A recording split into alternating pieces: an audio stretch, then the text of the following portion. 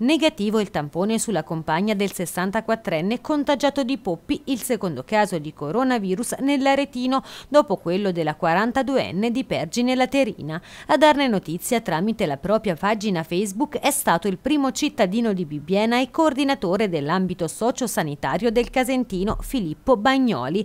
Mi sono sentito più volte con il direttore del distretto sanitario e al momento per fortuna non ci sono novità. Confermo, prosegue, che il caso positivo casentinese non ha avuto contatti con persone del territorio dopo il suo rientro dal convegno di Bologna. Inoltre vorrei precisare che non ha figli che frequentano scuole, non è possibile dire il nome e chiedo a tutti il massimo rispetto per una tale situazione delicata. Non avendo avuto contatti, conclude, non c'è bisogno di farsi prendere paure. L'uomo avrebbe contratto il virus a Bologna durante un convegno al quale ha preso parte assieme alla compagna. Al ritorno i primi sintomi, da qui l'isolamento volontario. Il tampone fatto sulla donna al momento ha dato esito negativo. Dovranno comunque arrivare i risultati sulla seconda verifica. Resta dunque sotto strettissima osservazione. Entrambi sono ricoverati nel reparto di malattie infettive dell'ospedale San Donato di Arezzo. Le condizioni non sarebbero preoccupanti.